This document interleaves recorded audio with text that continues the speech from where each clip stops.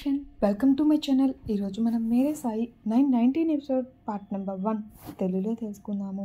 రాఘవ్ అమ్మా నీవు నాతో పాటు ద్వారకామాయి వద్దకు వచ్చినట్టయితే సాయి నీకు వైద్యం చేస్తారు. నీవు వీలైనంత త్వరగా కోలుకోగలుగుతావు. కొంచెం ఓపిక తెచ్చుకొని నాతో పాటు వచ్చే ప్రయత్నం చేయమ్మా అని అలా నెమ్మదిగా నిద్ర లేపే ప్రయత్నం చేస్తూ ఉండగా ఇంతలో గంగాధర్ చాలా ఆవేశంగా నీకేమైనా మతిపోయిందా ఏమిటి? నీ తల్లి పరిస్థితి కళ్ళ ముందు కనిపిస్తున్నప్పటికీ కూడా ఆమెని ఇప్పుడు నీవు ఆ బైరాగి దగ్గరికి తీసుకొని వెళ్తా అంటావేమిటి? నేను నా కూతుర్ని అక్కడికి ఎట్టి పరిస్థితుల్లోనూ వెళ్ళనివ్వను. ఆమెను నేను పెద్ద ఆంగ్లేజీ వైద్యం దగ్గరికి తీసుకొని వెళ్ళి వైద్యం చేయిస్తాను అని అలా వాళ్ళ ఇద్దరూ వాగ్వాదం జరుగుతూ ఉంటుంది. ఇంతలో గోడూకి ఆమె తన భర్తతో మాట్లాడిన మాటలు జరిగిన సంఘటన అంతా అలా ఒక కలలాగా మొదలవుతుంది. మీరు నిజాయితీగా ఉన్నంత మాత్రాన మీకు ఏం లభించింది? మీరు మీ భర్తని సంతోషంగా ఉంచగలిగారా? మీ బిడ్డకి కావాల్సినవి అన్నిటినీ తీసుకువచ్చి ఇవ్వగలుగుతున్నారా? ఎప్పుడు మనం ఇలా పేద బతుకుల్లో బతకడమేనా? అయినా మీరు మీ భార్యని వివాహం చేసుకుంది ఇందుకేనా? ఇలా ఒక ఉన్నతమైన ఇంటి నుంచి ఒక అమ్మాయిని తెచ్చుకున్నప్పుడు ఆ అమ్మాయిని ఎలా చూసుకోవాలి? ఏమిటి అనేది కనీసం మీకు తెలియదా? నేను నా తండ్రి దగ్గర ఉన్నప్పుడు ప్రతి వారం నేను పట్టు వస్త్రాన్ని కొనుక్కునేదాన్ని. ప్రతి నెల నేను బంగారం కొనుక్కునేదాన్ని. ఇక్కడికి వచ్చిన తర్వాత నాకు ఎటువంటి సౌకర్యాలు లేకుండా పోయాయి. నేను ఉన్నతంగా జీవించిన కుటుంబం దగ్గర నుంచి ఇప్పుడు పేద జీవితాన్ని గడపవలసిన పరిస్థితి నెలకొనింది. ఇప్పుడు యవ్వనంలోనే నా పరిస్థితి ఎలా ఉంది అంటే రేపు మనం వృద్ధాప్యంలోకి వెళ్ళేసరికి ఎంతో కొంత కూడబెట్టుకోకపోయినట్టయితే మనకి ఆసరా ఏముంది? కుమారుడికి కావాల్సినవి అన్నీ మనం సమకూర్చలేకపోతే మన భవిష్యత్తు ఏమిటి? కనీసం మీరు ఎప్పుడైనా ఇవన్నీ ఆలోచించారా అని అలా తన భర్తతో ఆమె గొడవపడిన సంఘటన అంతా ఆమెకి కళ్ళ ముందు మెదులుతూ ఉంటుంది. చూడండి నేను చెప్పింది వింటే విన్నట్టు లేదంటే ఇక నేను మీ దగ్గర ఉండబోను. నేను నా కుమారుని తీసుకొని శాశ్వతంగా మీరు ఎప్పుడైతే మారారో అప్పుడు వరకు నేను ఇక్కడికి ఇక వచ్చేది లేదు. నేను వెళ్ళిపోతున్నాను. మీరు లంచం తీసుకోను. ఇక నేను ఎప్పటికీ ఇలాగే ఉంటాను అంటే మన బతుకులు ఇలాగే ఉంటాయి. నా కుమారుడికి కూడా ఎప్పటికీ మంచి జీవితం అనేది లభించదు.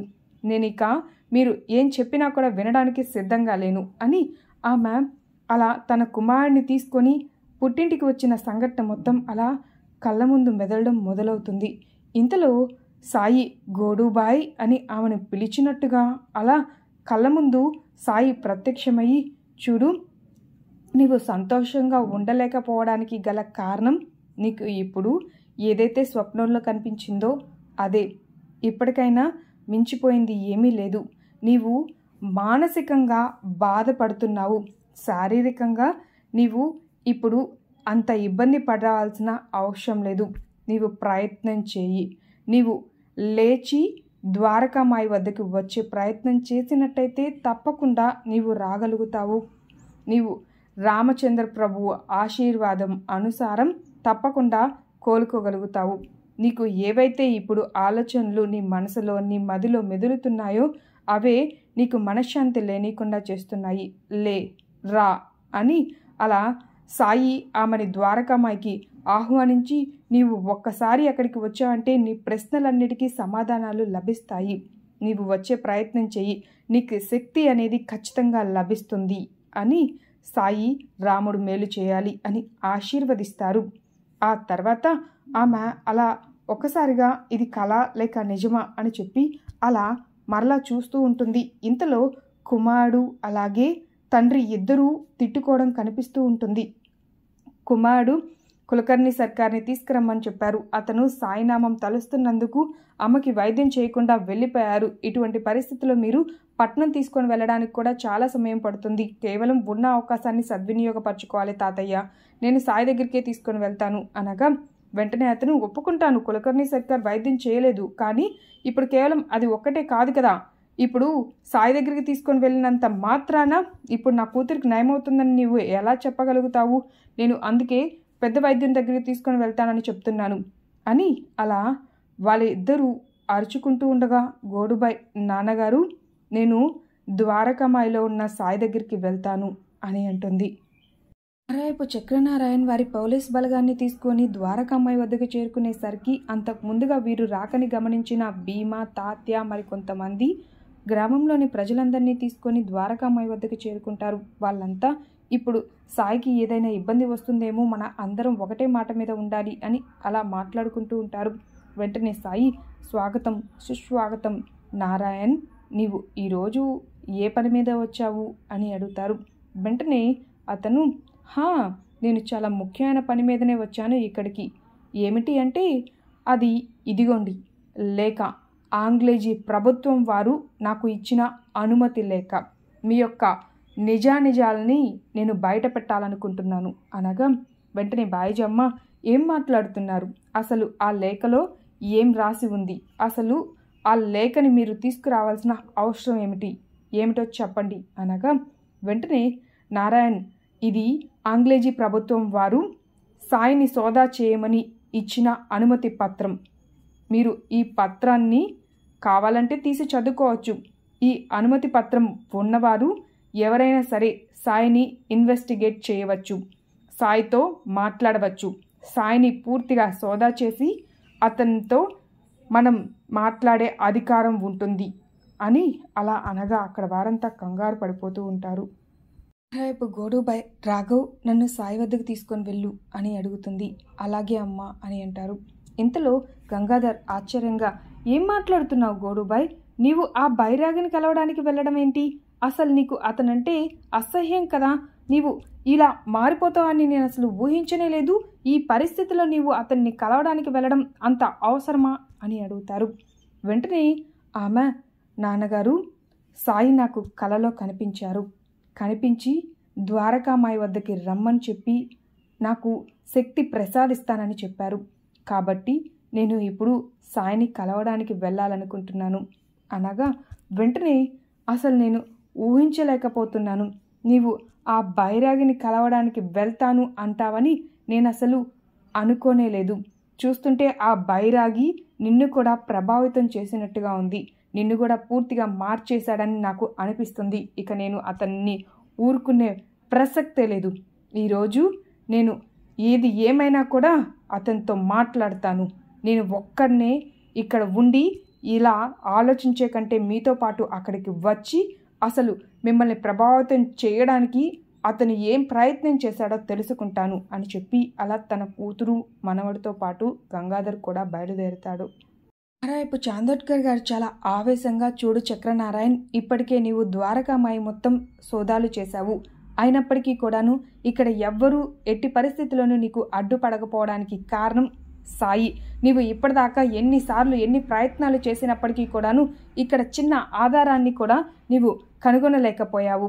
అంటే దీన్ని బట్టి అర్థమవుతుంది నీవు తెలిసి తెలియక ఇప్పటి వరకు ఎవరో ఇచ్చిన తప్పుడు సమాచారంతో ఇక్కడ ఈ పనులన్నింటినీ చేస్తున్నావు. ఇప్పటికే నీవు హద్దులు దాటి అన్ని ప్రయత్నాలు చేసినప్పటికీ కూడాను నీకు ఎటువంటి సమాచారం లభించలేదు. నిర్దోషి అయిన సాయిని ఇలా నీవు ఇన్నిసార్లు ఇబ్బంది పెట్టడం సరైనది కాదు. నాకు కూడా లా తెలుసు. నీవు ఇలా సోదాలు చేసే అనుమతి సాయి కోసం తెచ్చుకొని ఉండొచ్చు. కానీ మేము ఎవ్వరము ఒప్పుకునే ప్రసక్తే లేదు. నీవు సాయిని ఇబ్బంది పెడుతూ ఉంటే మేమంతా చూస్తూ ఊరుకుంటామనుకుంటున్నావా? నీవు ఏ కారణంతో ఇవన్నీ చేస్తున్నావు? అని కోపంగా అంటారు. వెంటనే అతను చూడండి నేను ఇలా చేయడానికి ఒక కారణం ఉంది.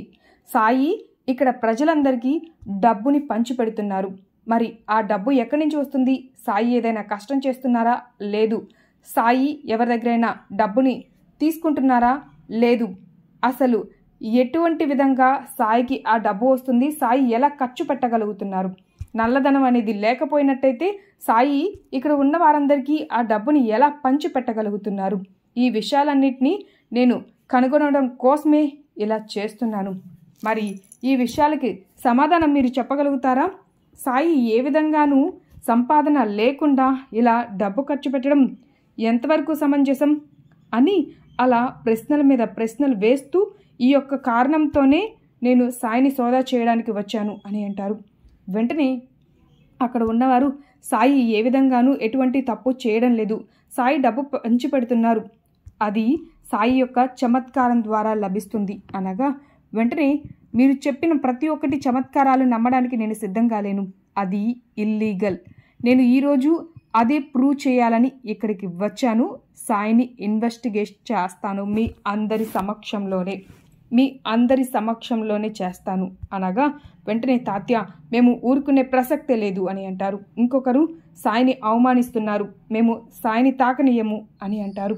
ఇలా ఒక్కొక్కరు ఈరోజు మీరు ఏం చేసినా కూడా మేము అసలు ఊరుకుంటామని అనుకోవచ్చు. మీరు ఇప్పటికే హద్దులు దాటి అన్ని ప్రయత్నాలు చేశారు. ఇప్పటి వరకు ఏది మీరు సాయి మీద ఆరోపణలు వేసినా అది నిరూపణ అవ్వలేదు కాబట్టి మేం మాత్రం ఊరుకోము అని అందరూ వాగ్వాదానికి దిగుతారు.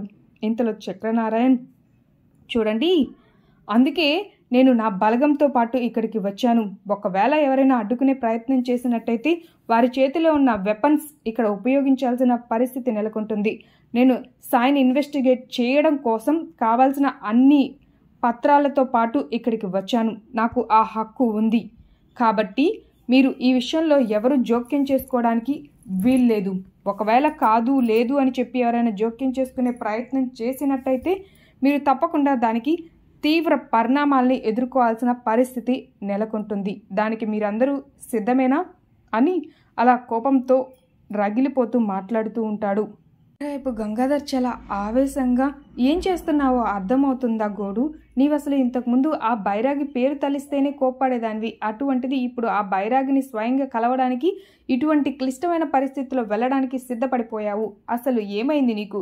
నీ మీద ఏం ప్రభావం చేశాడు అతను? అని చెప్పి కోపంతో మాట్లాడుతూ ఉండగా వెంటనే గోడు నాన్నగారు అతను నన్ను ఏ విధంగానూ ప్రభావితం చేయలేదు. ఇప్పుడు నేను కొంచెం కోలుకోగలుగుతున్నాను. సాయి నన్ను అక్కడికి రమ్మని చెప్పి ఆదేశించారు. అందుకే నేను నెమ్మదిగా వెళ్ళాలనుకుంటున్నాను. అనగా వెంటనే గంగాధర్ అసలు ఎందుకు ఏ కారణంతో ఎంతో గొప్ప వైద్యుని దగ్గరికి తీసుకొని వెళ్ళి నీకు వైద్యం చేయిస్తా అన్నప్పటికీ కూడా కాదని నీవు ఆ బైరాగి దగ్గరికి వెళ్ళాల్సిన అవసరం ఏమిటి? అని అడుగుతారు. ఇంతలో రాఘవ్ అదే సాయి యొక్క గొప్పతనం తాతగారు. సాయి సాధారణమైన వ్యక్తి కాదు. మీరు కూడా అతని గురించి తెలుసుకునే రోజు ఖచ్చితంగా ఒకటి వచ్చి తీరుతుంది. సాయి అందరి క్షేమాన్ని కోరుతారు. అందరికీ మేలు చేస్తారు. కాబట్టి మీరు కూడా తప్పకుండా సాయి గురించి తెలుసుకుంటారు. సాయిని ఎవరైతే కొలుస్తారో వారికి ఎంత బాధ ఉన్నప్పటికీ కూడా ఆ బాధని తప్పకుండా దూరం చేస్తారు. ఇప్పుడు మీరే చూస్తున్నారు. ఇందాక అమ్మ కనీసం కళ్ళు కూడా తెరవలేని పరిస్థితిలో ఆమె ఇబ్బంది పడుతూ ఉంది. కానీ ఎప్పుడైతే సాయి తన దగ్గరికి రమ్మని చెప్పి అలా కలలో కనిపించారో ఆ క్షణం ఆమె మేలుకొని నెమ్మదిగా సాయి దగ్గరికి రావడానికి ఆమె సిద్ధపడిపోయింది. ఇప్పుడు స్వయంగా ఆమెని నెమ్మదిగా నడుస్తూ అలా కొంచెం కొంచెంగా కోలుకుంటూ సాయి దగ్గరికి వస్తూ ఉంది అని చెప్పి అలా తీసుకొని వెళ్తూ ఉంటాడు. నేను ఇవన్నీ వినడానికి సిద్ధంగా లేను అని కోపంగా మాట్లాడుతూ ఉంటాడు గంగాధర్. రేపు బాయిజమ్మ చూడండి మీరు సాయి గురించి పొరపడుతున్నారు. సాయి దగ్గర ఎటువంటి నల్లధనం లేదు. సాయి నల్లధనాన్ని పంచిపెడుతున్నారు అని మీరు కేవలం అభిప్రాయపడుతున్నారు. సాయి ఏదైతే డబ్బు ఇప్పటి వరకు అందరికీ పంచి ఇచ్చారో అది అని మాట్లాడబోతూ ఉండగా ఇంతలో సాయి బాయిజామ్మ ఇప్పుడు మీరు ఈ విషయాలన్నింటినీ వారికి వెల్లడించాల్సిన అవసరం లేదు. వాళ్ళు నన్ను సోదా చేయడానికి వచ్చారు కదా వారి పని వారిని చేసుకొని ఇవ్వండి అని సాయి అంటారు. వెంటనే ఉద్దవ్ సాయి మీరు మా గురువు. మా గురువుని ఎవరైనా అవమానిస్తూ ఎవరైనా ఇబ్బంది పెట్టే ప్రయత్నం చేసినట్టయితే మేము ఊరుకునే ప్రసక్తే లేదు. అనగా ఇంతలో అబ్దుల్ సాయి అసలు వీరు ఇలా మరలా మరలా వచ్చి మిమ్మల్ని ఇన్నిసార్లు ఇన్ని రకాలుగా ఇబ్బంది పెట్టడం ఎంతవరకు సమంజసం? వీళ్ళని ఇలాగే ఊరుకున్నట్టయితే వీళ్ళు ఇంకా ఇబ్బంది పెట్టే ప్రమాదం ఉంది. కాబట్టి ఈ రోజుతో దీనికి అడ్డుకట్ట వేయాలి.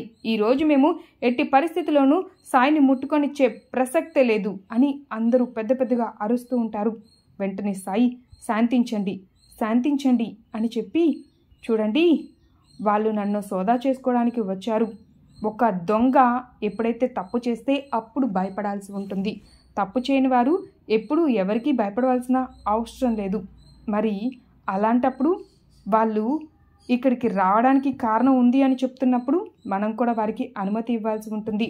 రామచంద్ర ప్రభువు ఆదేశానుసారమే ఇవన్నీ జరుగుతున్నాయని నేను అభిప్రాయపడతాను. తప్పకుండా రామచంద్ర ప్రభువే దీనికి బాధ్యత వహిస్తారు. మీరెవరూ ఆందోళన పడవలసిన అవసరం లేదు అని సాయి అలా తనని ఇన్వెస్టిగేట్ చేసుకోమని చెప్పి ముందుకు వచ్చి నుంచుంటారు. ఇంతలో అక్కడ ఉన్న వారంతా సాయి మీరు ప్రతి ఒక్కరి గురించి ఆలోచించి ఇలా వారికి మీరు ఇటువంటి ప్రాధాన్యం ఇవ్వడం ఏమాత్రం బాగోలేదు. మీ గురించి వీళ్ళు ఇలా సోదాలు చేయడానికి వచ్చారు అంటే వాళ్ళకి తప్పుడు అభిప్రాయం ఉండడం వల్లనే వచ్చి ఉంటారు. మీరు ఇటువంటి విధంగా వాళ్ళకి అనుమతి ఇవ్వడం నాకు నచ్చలేదు అని అంటారు. సాయి అలా నవ్వుతూ మౌనంగా ఉండిపోతారు. ఇంతటితో ఎపిసోడ్ కంప్లీట్ అయింది. మీకు ఈ వీడియో నచ్చినట్టయితే లైక్ చేయండి సబ్స్క్రైబ్ చేయండి. మరిన్ని వీడియోస్ కోసం బెల్ ఐకాన్ క్లిక్ చేయండి. Thank you